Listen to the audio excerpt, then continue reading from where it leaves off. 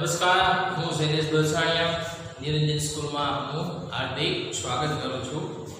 હવે આપણે લાસ્ટ બે લેક્ચરમાં આપણે ડાયરેક્ટ ઇનડાયરેક્ટ સ્ટાર્ટ કરેલું છે. બરાબર? પહેલા લેક્ચરમાં મેં તમને કન્સેપ્ટ સમજાવ્યું હતું કે ભાઈ ડાયરેક્ટ અને ઇનડાયરેક્ટ સ્પીચ શું છે. ત્યાર પછી, એના પછીના લેક્ચરમાં મેં કોષ્ટક એટલે કે નિયમો સમજાવ્યા હતા. લાસ્ટ લેક્ચરમાં ત્રણ કોષ્ટક મેં સમજાવ્યા અને મેં એવું પણ કીધું હતું કે ભાઈ, સર્વનામનું કોષ્ટક છે, જે વિભક્તિવાળું કોષ્ટક છે એ તમને નેક્સ્ટ લેક્ચરમાં સમજાવીશ. આ છે તમારું વિભક્તિવાળું કોષ્ટક. બરાબર ત્યારે જનરલી તમે ડાયરેક્ટમાંથી ઇનડાયરેક્ટ સ્પીચમાં છે જ્યારે તમે ફેરફાર કરો ત્યારે અમુક સર્વનામમાં પણ ફેરફાર થશે બરાબર તે સર્વનામમાં એમ ફેરફાર નહીં થાય બરાબર કે ભાઈ આઈ નું મી થઈ જાય મી નું માય થઈ જાય એવી રીતે કોઈ ફેરફાર નથી કરવાનો એ તો આપણે જ્યારે સેન્ટેન્સ જોશું ત્યારે સમજાવીશું તમને કે કઈ રીતે આમાં ફેરફાર થાય. બરાબર? અત્યારે તો ખાલી આ રીતે આપણે જે આ વિભક્ત, આકાંક્ષા વિભક્તિ છે, આ કર્મ વિભક્તિ છે અને આ સંબંધ વિભક્તિ છે. બરાબર? જેમ કે આ એ કર્તા વિભક્તિ છે, એની કર્મ વિભક્તિ શું થશે? મી. એની સંબંધ વિભક્તિ માય. એટલે આઈ, મી, માય. તમે પહેલા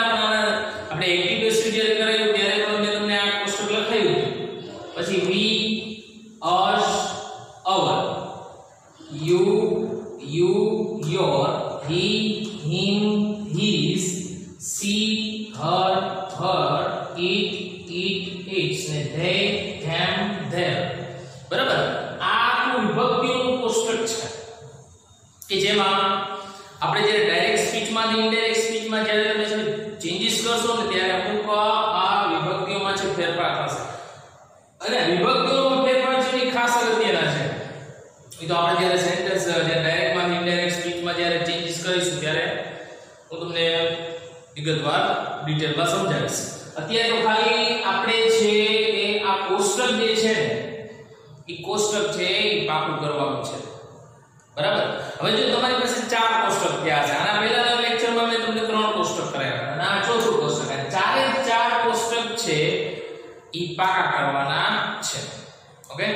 અને ત્યાર પછી જ છે આપણે ડાયરેક્ટ ઇનડાયરેક્ટ છે એ સ્ટાર્ટ કરીશું. હજુ તો આ લેક્ચરમાં હું તમને ખાલી આ કોષ્ટક અને વાક્યના પ્રકાર જ સમજાવીશ પછી નેક્સ્ટ લેક્ચરમાં છે આપણે રૂલ્સ પાકા કરીને પછી ડાયરેક્ટમાંથી ઇનડાયરેક્ટ સ્પીચમાં સ્ટાર્ટ કરીશું. બરાબર? એટલે આ છે વિભક્તિનું કોષ્ટક. ત્યાર પછી આવે છે વાક્યના પ્રકાર. બરાબર? શું આવે છે? વાક્યના પ્રકાર. હવે મેં ડાયરેક્ટ ઇનડાયરેક્ટ કુલ 6 ભાગમાં ડિવાઈડ કર્યું છે. કેટલા ભાગમાં છે? 6 જો વિધાન પ્રશ્નાર્થ પ્રશ્નાર્થમાં પાછા બે પ્રકાર આવે છે. નોન ડબલ્યુએચ ક્વેશ્ચન અને ડબલ્યુએચ ક્વેશ્ચન બરાબર?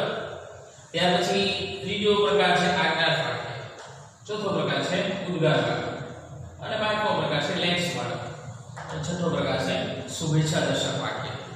એટલે આ બધા એફર્મેટિવ હોય ઇન્ટ્રોગેટિવ હોય ઇમ્પેરેટિવ હોય એક્સક્લેમેટરી હોય આ બધા જે વાક્યના જે પ્રકારો છે બરાબર ઈ ડિટેલ વિગતવાર આપણે સમજીશું પછી આપણે એક એક વાક્યના પ્રકાર દ્વારા સમજતા જશું કારણ કે બધું મિક્સમાં સમજશું તો આપણે થોડું ટફ પડી એટલે કારણ કે આમાં બધાના જો માની લો વિધાન વાક્ય છે આપણે વિધાન વાક્ય સમજતા હો તો વિધાન વાક્યના અલગ રૂલ્સ આવે બરાબર?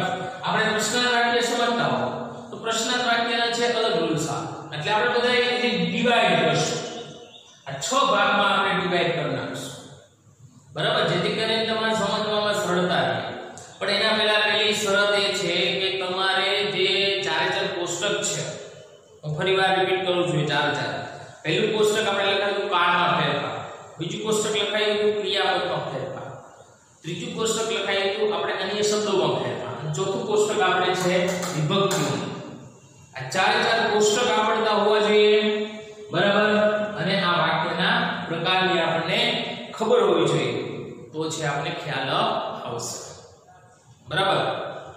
એટલે આ ત્રીજો લેક્ચર છે ડાયરેક્ટ ઇનડાયરેક્ટ બરાબર? જ્યારે પણ પણ જ્યારે પણ પૂર્ણ કરશું, ત્યાર પછી આપણે નિયમો બધા વ્યવસ્થિત પાકા કરી નાખવાના. તમને પીડીએફ કે રીતે તમને મોકલવામાં આવશે. અને કદાચ તમને પીડીએફ ન મોકલવામાં આવે, તો તમને આ બોર્ડ પર મેં બધા લખેલા હતા. બધા પુસ્તક લખેલા. ગઈકાલે આપણે ત્રણ પુસ્તક લખેલા છે. આજે આપણે એક પુસ્તક એટલે કુલ ચાર પુસ્તક થશે. બરાબર? એટલે એ ખાસ ધ્યાન રાખજો. અને નેક્સ્ટ લેક્ચરમાંથી ડાયરેક્ટ